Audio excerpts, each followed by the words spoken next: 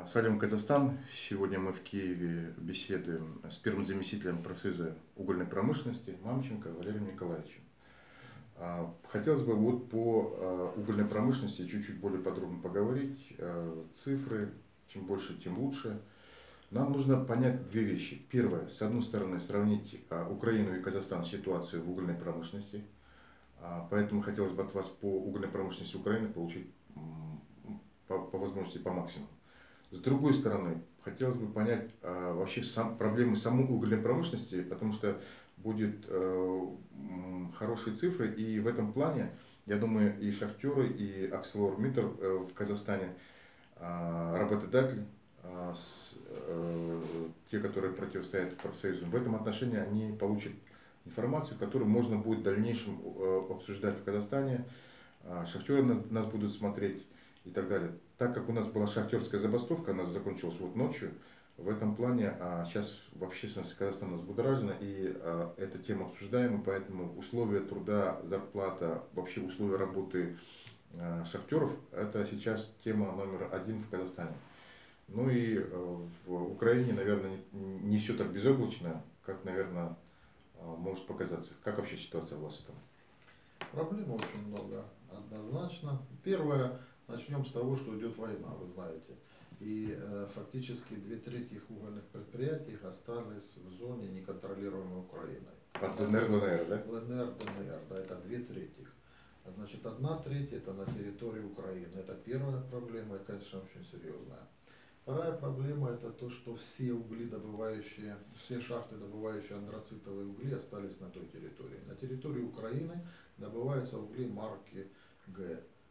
А, значит, а э, все угли антрацитов добываются на той территории. А у нас половина станций тепловых работает на антрацитовских марках, угу. на углях антрацита. А можно сказать, сколько шахт вообще по Украине до войны было? И сколько осталось э, на... Ну, где-то э, на тот период э, где-то было 250 шахт. Это, да, но это закрывающимися где-то порядка 150 было действующих. Сейчас на территории Украины, ну, на территории подконтрольной Украины находится 33 государственных шахт и 16 частных. Угу. Поэтому у нас тоже эта проблема, частные шахты и государственные. Но часть угля, скорее всего, поступает оттуда все равно. Я слышал, что с ДНР, ЛНР уголь все равно приходит э, на переработку на ну, Дело в том, что андрацита не хватает же, на станциях нет, мы его просто не добываем. Мы возим андрациты с Южной Покупаете. Африки, да, с Южной Африки. Вот сейчас в последнее время из Соединенных Штатов Америки и, конечно, с России часть угля идет. Какой это уголь, где он добывается, тоже mm-hmm. второй вопрос. Да. да? Вот. Ну, в данной ситуации мы никак не влияем сегодня на ситуацию социально-экономическую на тех шахтах, которые остались в той зоне. Получается, примерно 100 шахт находится под ДНР, ЛНР, да? Там. Ну да, где-то, э, значит, вот просто, э, если у нас было 300 тысяч шахтеров, э, членов нашего профсоюза до войны, то сегодня 90. Угу. Вот есть, цифры. Да, вот цифры это чисто реально. Средняя численность работников шахт э, на одной шахте сколько примерно у вас там? Ну, в среднем у нас, смотря какая шахта, конечно, разные показатели. Если эта шахта небольшая, то это где-то э, около полутора тысяч. Крупная шахта это 2-3 тысячи. Где-то угу. так. Вот э, была такая информация, что вот э, частные работодатели, вот в частности ArcelorMittal, э, используют э, технологию длинной лавы, используют ее э, для увеличения производительности труда и так далее. То есть большое поле внутри, э, комбайнов много и так далее. И дегазация не успевает производиться, не успевает, и оборудование не закупается и так далее. И поэтому э, была такая большой период длинный, э, лет 8, наверное, высокой аварийности в связи с этим. Были взрывы, большие жертвы и так далее. Вообще, в принципе, статистика показывает по Украине причина аварийности, причина взрывов вот в чем? Вот в том, что э, работодатель старается экономить на э, каких-то вещах. Вы знаете, я бы так не сказал. Вот если взять, допустим, частные шахты, они просто сделали простой расчет. Что выгоднее, заниматься охраной труда или не заниматься. Вот по всем показателям, если берется несколько лет, делаются расчеты, выгоднее заниматься охраной труда с точки зрения бизнеса. Угу. То есть они меньше теряют, если занимаются охраной труда, серьезно.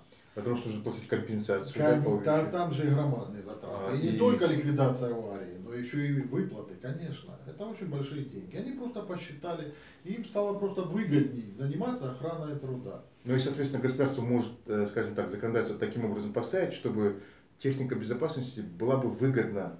Так, а, именно так. Да. Вот у нас проблема с охраной труда в основном на государственных шахтах. А на частных шахтах, там, допустим, сегодня вопросы спецодежды, вопросы спасателей, вопросы э, светильника вообще не стоят. Там нет этих проблем. А легализация вот эта проблема? Тоже, ну, допустим, э, она, она есть в какой-то степени, но и занимается. Там, по крайней мере, есть мероприятия, специально выделяются деньги под это. То есть, есть занимается лучше даже, чем в государственных? Конечно.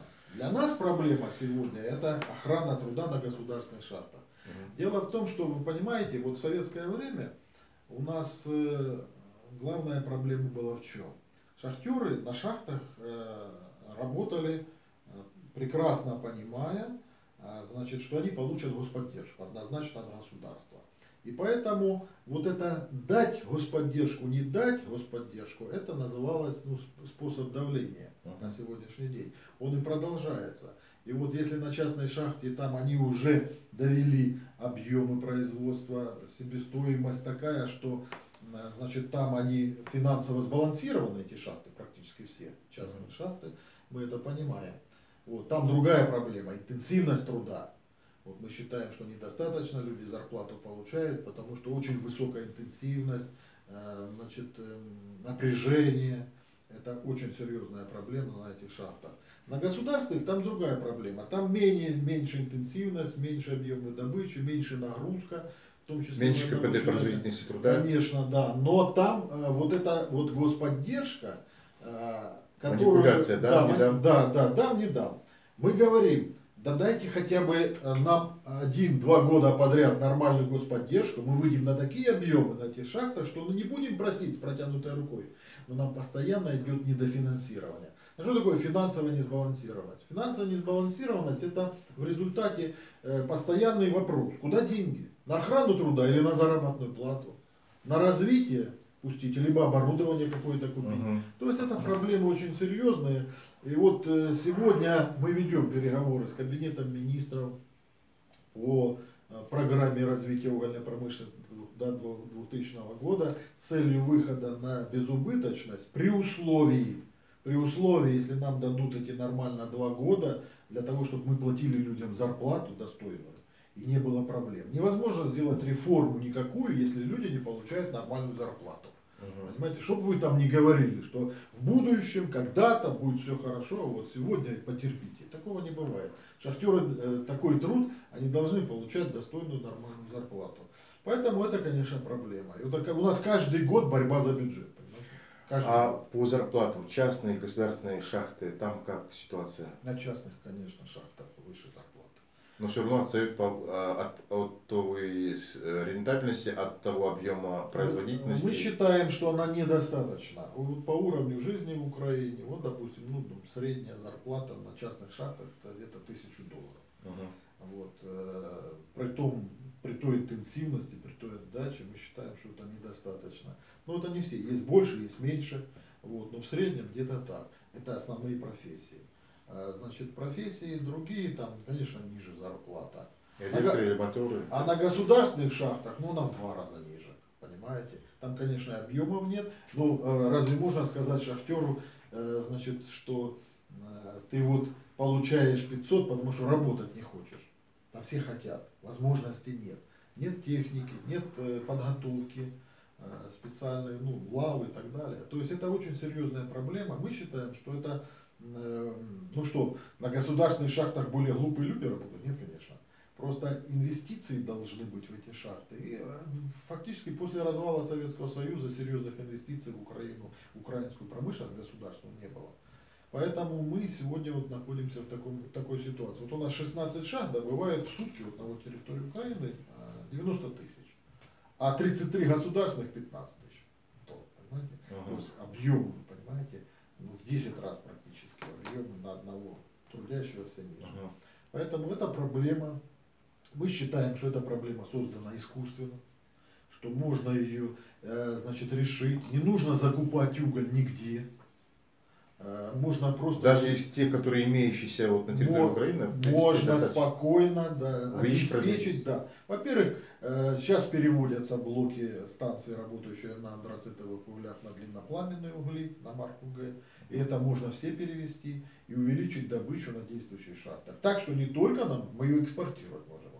То, Просто то есть, как минимум, вы можете обеспечить Абсо- энергозави- абсолютно, энергонезависимость. абсолютно нет вопроса. А запасы так ну, 400 а, там, миллиардов. Это вопросов никаких нет. Поэтому мы сегодня вот занимаемся вместе, вот, к сожалению, у нас э, серьезная проблема, это постоянная смена а, руководства. В Где? виду, А, в стране. Министерство в стране, да. Мгм. Вот идет вот процесс. Пришла, пришла новая команда, да. Вот Пока она пока не то- полгода минимум. Она полгода меняет предыдущую команду сверху донизу, пока всех заменили, потом, потом начинаем Осваиваться. осваиваться, и мы начинаем им рассказывать.